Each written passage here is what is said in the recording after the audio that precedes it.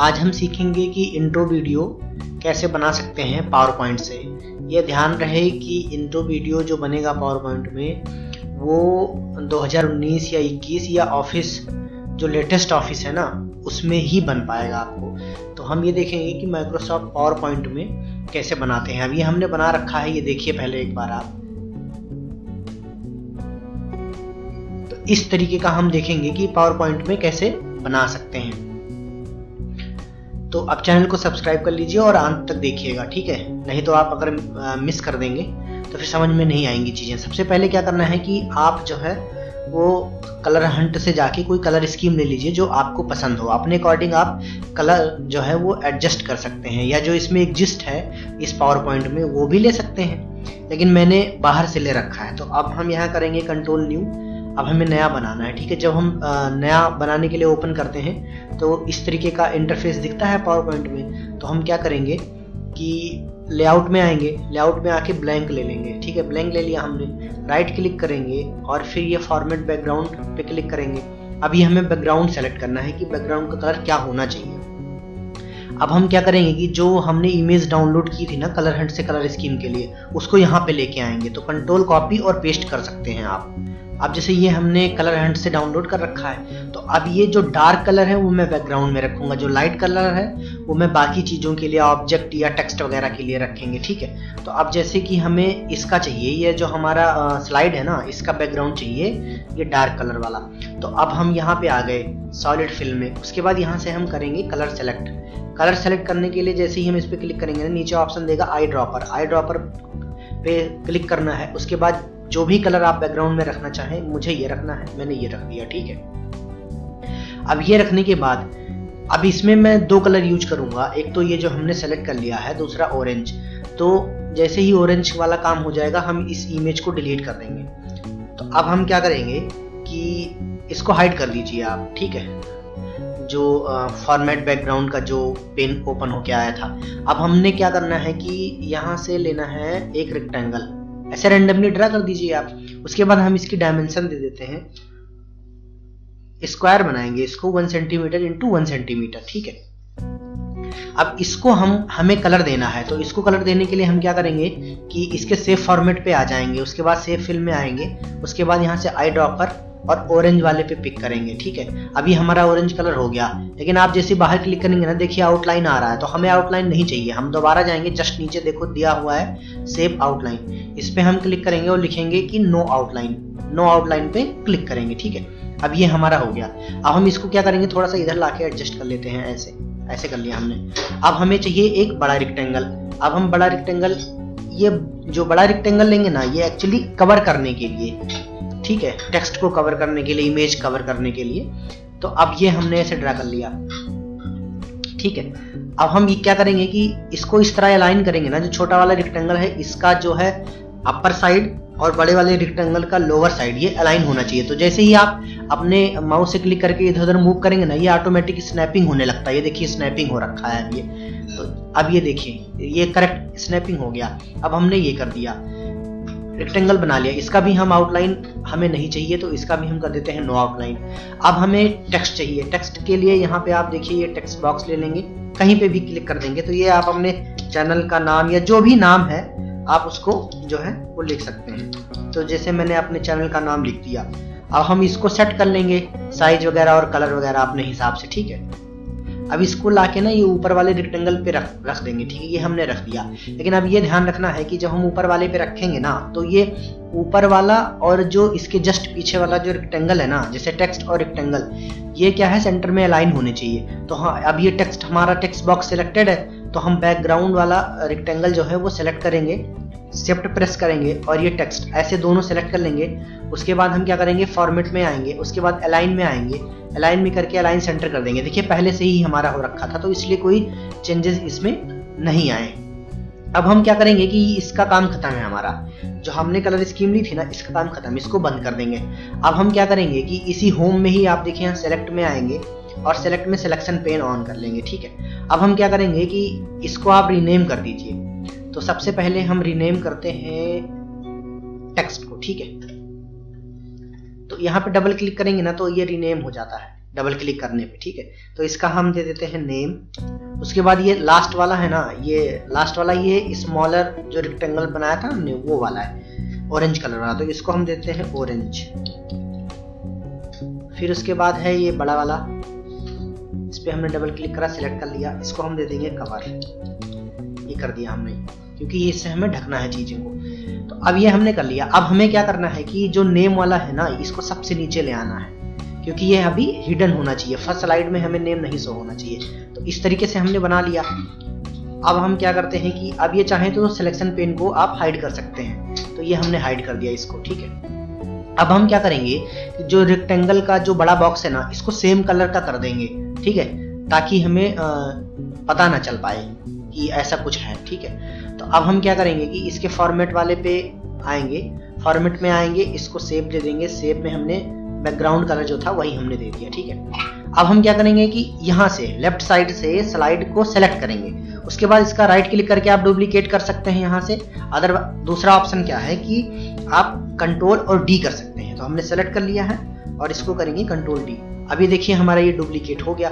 जैसे ही डुप्लीकेट हो जाए, आप क्या करिए कि इस जो बॉक्स है ये आपका, इसको और ये बड़े वाले बॉक्स को सेलेक्ट करना है, उसके बाद आना है सेफ़ फॉर्मेट उसके बाद अलाइन में आना है और कर देना है अलाइन राइट अब ये हमने कर दिया, ठीक है? अब हम क्या करेंगे कि सेकंड वाला स्लाइड ही जो है, वो सेलेक्ट करेंगे। सेकंड वाला स्लाइड सेलेक्ट करने के बाद आपको आना है ट्रांजिशन में। ट्रांजिशन में जब हम आएँगे तो इस पे हम अप्लाई करेंगे मॉर्फ ठीक है? ये देखिए, हमने मॉर्फ अप्लाई कर दिया इसलिए मैं कह रहा हूँ ना कि लेटेस्ट वाला माइक्रोसॉफ्ट पावर पॉइंट होना चाहिए, क्योंकि बाकी ओल्डर वर्जन में ना मॉर्फ का ऑप्शन नहीं होता है। तो इसलिए आप ओल्डर वर्जन में नहीं बना सकते।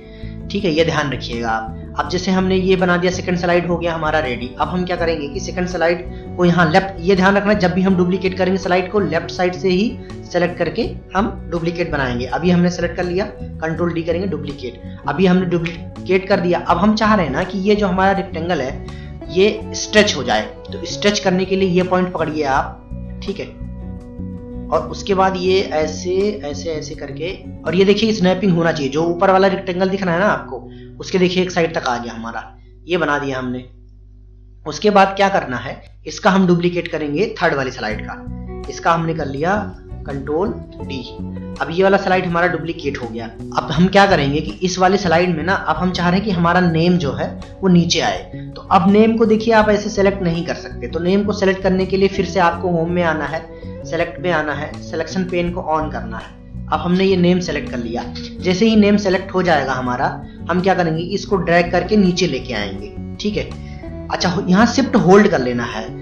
शिफ्ट को होल्ड करने से फ़ायदा ये हो जाएगा ना, ये जिस पोजीशन पे है, उसी पोजीशन पे नीचे की साइड ड्रैग हो मतलब राइट या लेफ़्ट मूव नहीं होगा।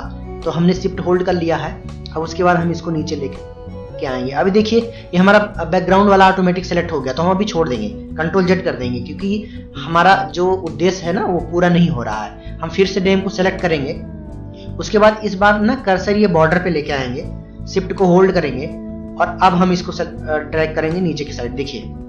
ये हमारा आगे ना, अभी जितनी भी लाइनें आपको दिख रही ना, ये देखिए, ये स्नैपिंग की लाइनें हैं। तो हमें यही तो चाहिए। अब हम उसके बाद क्या करेंगे? छोड़ देंगे। छोड़ दिया हमने शिफ्ट को, ठीक है?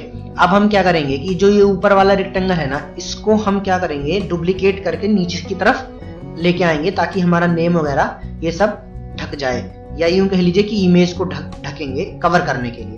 तो अब हम क्या करेंगे कि शिफ्ट और कंट्रोल प्रेस करेंगे। इसका डुप्लीकेट बनाएँगे। शिफ्ट कंट्रोल प्रेस करना है। जैसे ही आप शिफ्ट कंट्रोल प्रेस करेंगे, आपको प्लस का साइन दिख जाता है। ठीक है? और ये ऑब्जेक्ट हमारा सिलेक्टेड है, जिसका हमें डुप्लीकेट बनाना है। आप क्या करिए कि उस पर क्लिक करिए और नीचे की तरफ़ ड्रैग करिए। जैसे ही नीचे की तरफ़ ड्रैग करेंगे, आपको ये देखना है कि कहाँ तक जा रहा है। तो अब हम चाह रहे हैं कि ये हमारा यहाँ तक दिख जाए, यहाँ तक रहे। या आप यहाँ ऊपर तक कर सकते हैं या नीचे तक कर सकते हैं। ठीक है? अब जैसे हमने ये कर लिया, उसके बाद क्या करना है ना? माउस छोड़ना है सबसे पहले। फिर ये शिफ्ट एंड कंट्रोल अब क्या करना है कि इसको स्लाइड करेंगे नीचे की साइड अब यहाँ भी शिफ्ट को होल्ड कर लीजिए आप। ठीक है? ये नीचे की साइड ले आए। जैसे ही हम नीचे की साइड लेके आते हैं, हम उसके बाद क्या करेंगे? हमारा नेम तो ढक गया तो राइट क्लिक करेंगे और इसको हम कर देंगे सेंड टू बैक अब ये हमने कर दिया। अब क्या करना है कि हमें इमेज लेके आना है। इसी पे पेस्ट करना है। लेकिन अब हम ऐसे ये ये वाला रेक्टेंगल ना आइडेंटिफाई करने में अगर मुश्किल हो रही है तो हम क्या करेंगे कि सेफ़ फॉर्मेट पे आएँगे और यहाँ पे कोई कलर ले लेते हैं। ठीक है? तो हमने कोई कलर ले लिया, जैसे कि ये कलर ले लिया। अब हमें चाहिए इस पे अपने चैनल का इमेज या लोगो जो भी है, आप वो डाल सकते हैं इसमें, ठीक है? तो अब मैं इमेज लेके कॉपी पेस्ट करता हूँ यहाँ पे। अब ये जैसे मान लीजिए, अगर ये बड़ा है ना तो शिफ्ट को होल्ड करके ही आप इसको रिसाइज करेंगे अदरवाइज़ ये स्ट्रेच हो जाएगा। तो ये ला के हमने रख दिया। आप इसको थोड़ा बड़ा कर लीजिए ताकि अच्छे से सेट हो जाए। ये कर लिया हमने, ठीक है? अब जैसे ही हम ये करेंगे तो आप ये ध्यान रखिए कि क्या करना है कि इस इमेज को और ये बड़ा वाला रेक्टेंगल को इन दोनों को सेलेक्ट करके आप सेव फॉर्मेट या पिक्चर फॉर्मेट इन दोनों में से किसी में भी आ जाइए और अलाइन पे आइए और अलाइन सेंटर कर देना है, ठीक है? सेंटर अलाइन हो गया। अब हम क्या करेंगे कि इस इमेज को हम इसको बैक में भेज देंगे, ठीक है? ताकि ये हमें ना दिखे। अब हम क्या करेंगे ना कि यहाँ पे एनिमेशन लगाएँगे क्योंकि अब ये हमें चाहिए गायब हो जाए और हम चाह रहे हैं कि हमारी इमेज जो है वो अपियर हो जाए। तो सबसे पहले हम ये ऊपर वाला जो रेक्टेंगल है उसको सेलेक्ट करेंगे। उसके बाद एनिमेशन में आएँगे। और एनिमेशन में आके इसको एक्सपेंड करेंगे और एग्जिट ऑप्शन में आपको दिख जाएगा डिसअपियर तो अब ये इसमें हमने लगा दिया एनिमेशन की ये डिसअपियर हो जाए। अब हमें क्या करना है ना कि ये जो हमारा ये ऑब्जेक्ट है, नीचे वाला जो रेक्टेंगल है वो और जो पिक्चर है, ये अपियर हो जाए। तो शिफ्ट करके दोनों सेलेक्ट कर लेंगे। कर लिया। उसके बाद यहाँ फ्रंट पे ही एनिमेशन पेन में आपको अपियर दिख जाएगा। ये हमें अब अपियर भी दिख गया। अब यहाँ से हम एनिमेशन पेन ओपन कर लेंगे, ठीक है? अब इनको तीनों को, जब एनिमेशन पेन ओपन हो जाए तो तीनों पॉइंट को आप सेलेक्ट कर लीजिए ऐसे शिफ्ट करके। उसके बाद राइट क्लिक करिए। राइट क्लिक करने के बाद आपको कर देना है स्टार्ट विद प्रीवियस जैसे ही इस पर क्लिक करेंगे, ये देखिए जो एनिमेशन है ना, वो ज़ीरो ज़ीरो हो जाएगी, ठीक है? अब एनिमेशन लगाने के बाद फिर उसके बाद आप चाहें तो इस पेन को बंद कर सकते हैं या अभी ऑन रखिए। अब हम क्या करना है ना कि इस स्लाइड को फोर नंबर स्लाइड को ना डुप्लीकेट करना है तो हम कंट्रोल डी करेंगे। ये हमारा डुप्लीकेट हो गया। अब हम चाह रहे हैं ना कि जो हमारी इमेज है, वो डिस्प्ले हो जाए। ठीक है? इमेज डिस्प्ले हो। तो हम क्या करेंगे? इसको इसको और इसको। इन तीनों को सेलेक्ट करेंगे। ठीक है? और शिफ्ट होल्ड करेंगे और इसको हम नीचे लेके आएँगे। ठीक है? इतना ही लेके आना है, ठीक है? अब उसके बाद इमेज को ऊपर लेके जाएँगे। शिफ्ट को होल्ड करके रखना है ताकि ये अलाइनमेंट जो है वो बना रहे। ये कर दिया हमने। ये देखिए, ये ऊपर वाला रेक्टेंगल जो है ना, ये दिक्कत कर रहा है तो हम इसको डिलीट कर देंगे यहाँ से, ठीक है? ये कर दिया हमने। अब हम क्या करेंगे कि इसको डुप्लीकेट करेंगे। फाइव नंबर स्लाइड को, ठीक है? अच्छा डुप्लीकेट करने से पहले ना, अब आप, आपको अगर दिक्कत ना हो रही हो तो इसका जो कलर है ना, वो बिल्कुल बैकग्राउंड कलर ही कर देते हैं। तो अब हम ये सेव फॉर्मेट में आएँगे, और उसके बाद सेव फिल में आएँगे, और ये जो बैकग्राउंड कलर है, वो कर दिया हमने। इसमें भी हम यही कर देंगे बैकग्राउंड कलर से मैच करा देंगे इसको, ये हमने मैच करा दिया। ठीक है? अब हम ये फाइव नंबर स्लाइड डुप्लीकेट करेंगे, ये हमने डुप्लीकेट कर लिया। अच्छा ये ध्यान रखना है ना कि फाइव नंबर स्लाइड में अब हमें कोई एनिमेशन नहीं चाहिए। तो हम क्या करेंगे, इन दोनों को डिलीट कर देंगे। उसके बाद हमने जो डुप्लीकेट किया था ना सिक्स नंबर स्लाइड उस पर काम करना है। यहाँ भी देखिए एनिमेशन लग गया है गलती से तो इसको भी आप डिलीट कर दीजिएगा लग जाए तो। अब हम क्या करेंगे? सिक्स नंबर स्लाइड में से हम चाह रहे हैं कि ये हमारी जो नेम वाली जो ऑब्जेक्ट है ना नेम वाला ऑब्जेक्ट ये गायब हो जाए। तो हम इसको सेलेक्ट करके डिलीट कर देंगे। ये कर दिया हमने। अब यहाँ से हमारा ये ये डिलीट हो गया। अब हम करेंगे कंट्रोल डी फिर से डुप्लीकेट करेंगे। और इस बार हम क्या करेंगे कि इमेज को ढक देंगे। तो हम क्या करेंगे कि नीचे वाला ऑब्जेक्ट सेलेक्ट करेंगे। और इसको सेलेक्ट करेंगे शिफ्ट को होल्ड करेंगे और इसको हम ऊपर लेके जाएँगे। इमेज ढक गया, ठीक है? अब हम क्या करेंगे? फिर से इसको कंट्रोल डी करेंगे डुप्लीकेट करेंगे। डुप्लीकेट करने के बाद आपको क्या करना है ना, कि ये वाला जो पार्ट है एंट्री हुई थी ना, इसकी वजह से एग्जिट कर जाए। तो आपको सेम फॉर्मेट में आना है और जो इसकी विथ है ना, वो वन कर देनी है। वन कर दिया हमने। अब वन करने के बाद ना, ये देखिए आपको ये दिख जा रहा है। तो आपको क्या करना है ना, कि इसका जो है, ये बढ़ा देना है। साइज़ इसकी बढ़ा देनी, ठीक है? ये हमने कर दिया, ढक गया। अब हम क्या करेंगे? इसको डुप्लीकेट करेंगे। शिफ्ट होल्ड कर लिया और ये ऐसे बाहर चला गया। ये हमने कर दिया बाहर। ठीक है? अब हम इसको देख लेते हैं कि ये कैसे बना है, एक बार रॉ फॉर्म में। तो यहाँ से हम इसको प्ले करेंगे।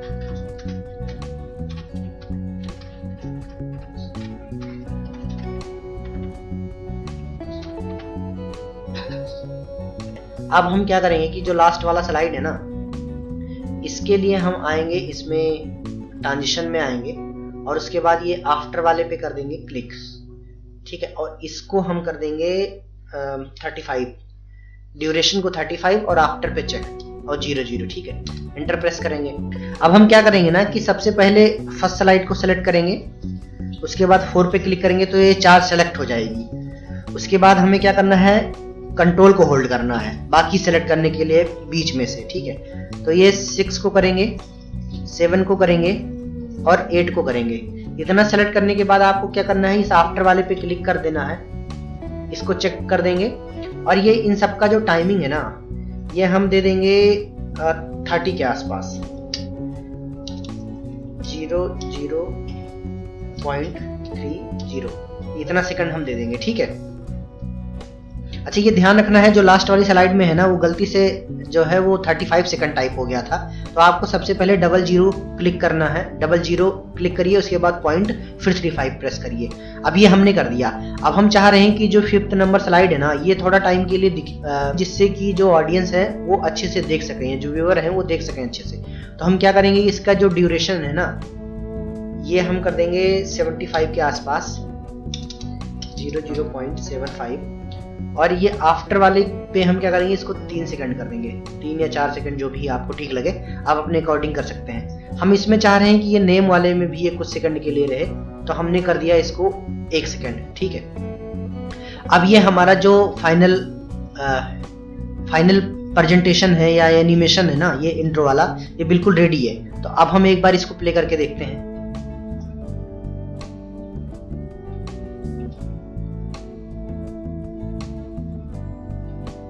अब ये देखिए, ये हमारा बन गया एनिमेशन ठीक है? तो अब ये एनिमेशन हमने बना लिया। अब आपके पास अगर कोई स्क्रीन रिकॉर्डर है तो उससे रिकॉर्ड करके आप अपना इंट्रो वीडियो रेडी कर सकते हैं, ठीक है? अदरवाइज़ अगर कोई दिक्कत आ रही हो तो यहाँ फ़ाइल में आएँगे एक्सपोर्ट में आएँगे।